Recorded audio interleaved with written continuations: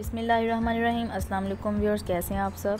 आज मैं आप लोगों से शेयर कर रही हूँ लोडेड पकौड़ा फ्राइज़ की रेसिपी, जिसको बनाना बहुत आसान है। आप घर में इसको इजीली बना सकते हैं और अफ्तारी में भी आप इसको बना के इंजॉय कर सकते हैं। तो चलिए हम अपनी रेसिपी स्टार्ट करते हैं। तीन मीडियम साइज़ के मैंने आलू लिए हैं और उनको मैंने कुछ इस तरह से कट कर लिया है। आलू ना ज़्यादा मोटे होने चाहिए और ना ही ज़्यादा पतले होने चाहिए। फिर एक बाउल लेंगे, उसके अंदर हम ग्राम फ्लोर ऐड करेंगे one and half cup, corn flour add करेंगे one four cup, rice flour add करेंगे one three cup,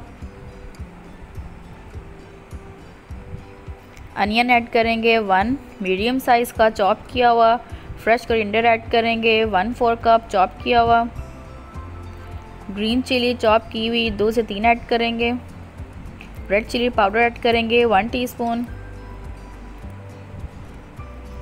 और ज़ीरा ऐड करेंगे वन टीस्पून और क्रश कोरिएंडर सीड ऐड करेंगे, वन टेबलस्पून सॉल्ट ऐड करेंगे, वन टीस्पून और रेड चिली फ्लेक्स ऐड करेंगे, वन टीस्पून और हल्दी ऐड करेंगे, वन फोर्थ टीस्पून। और इसको अच्छे तरीके से मिक्स कर लेंगे।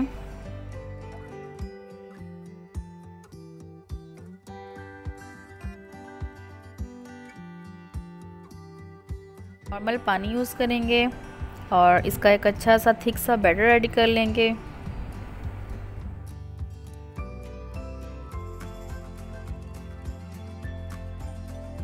फिर इसके अंदर जो आलू हमने कट करके रखे हुए थे, वो ऐड करने हैं और इसको अच्छे तरीके से मिक्स कर लेंगे और इसको 15 मिनट के लिए रेस्ट देंगे और देन फ्राई करेंगे।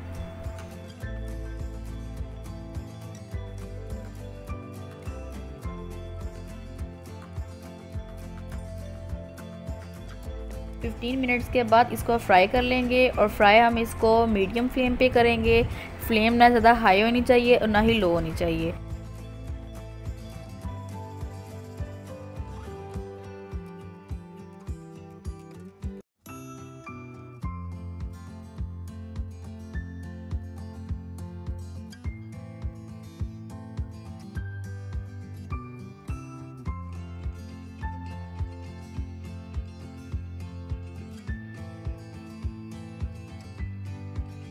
बहुत ही सिंपल सी रेसिपी है ये। आप इसको घर में इजीली बना सकते हैं और आप इसको अफ्तारी में भी इंजॉय कर सकते हैं बना के।